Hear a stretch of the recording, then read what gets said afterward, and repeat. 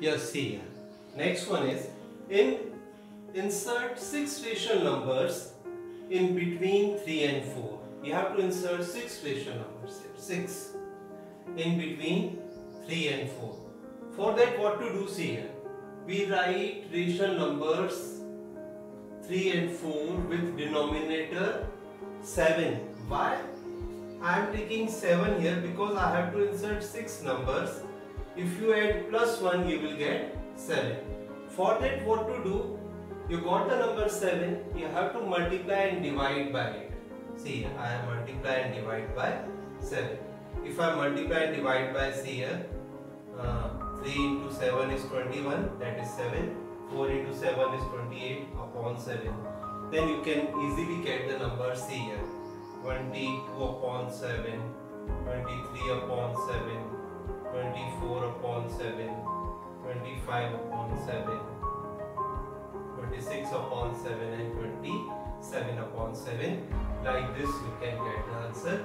In this method you can get exactly the numbers whatever you want. You want 6 rational number? See here 1, 2, 3, 4, 5, 6. Okay, now another example we are doing. If numbers are given in like that, in fraction, then what to do? First of all, you see the, the fraction fractions denominator. Both are different. If both are different, you have to take LCM. LCM of 4 and 6 is 12. See here.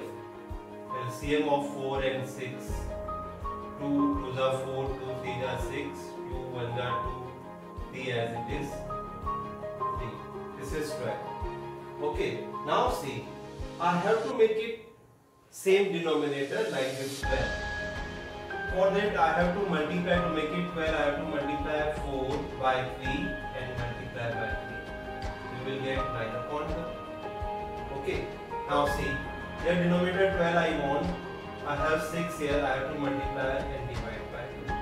That is 10 upon 12. so these are the numbers 9 upon 12 and 10 upon 12 we have and we have to insert 4 rational numbers. Then 4 rational numbers so for that what to do? We have to multiply and divide by 4 plus 1 that is 5. Are you getting? Again I am explaining. Because we have 4 we have to find insert 4 rational numbers. So you write 4 here directly and add plus 1 you will get 5. So by what to do with 5 you have to multiply and divide to this number.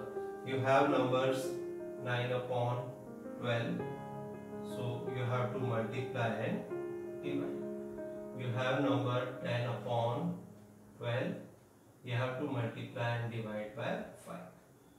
9 5 is 45 12 5 is 60 10 5 are 50, 12 5 uh, 12 uh, 12 5 are 60. Okay.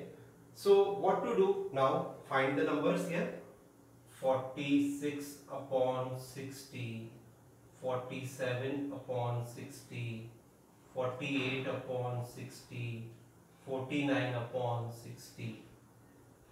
Okay, easily this is your answer. Come on on the next question.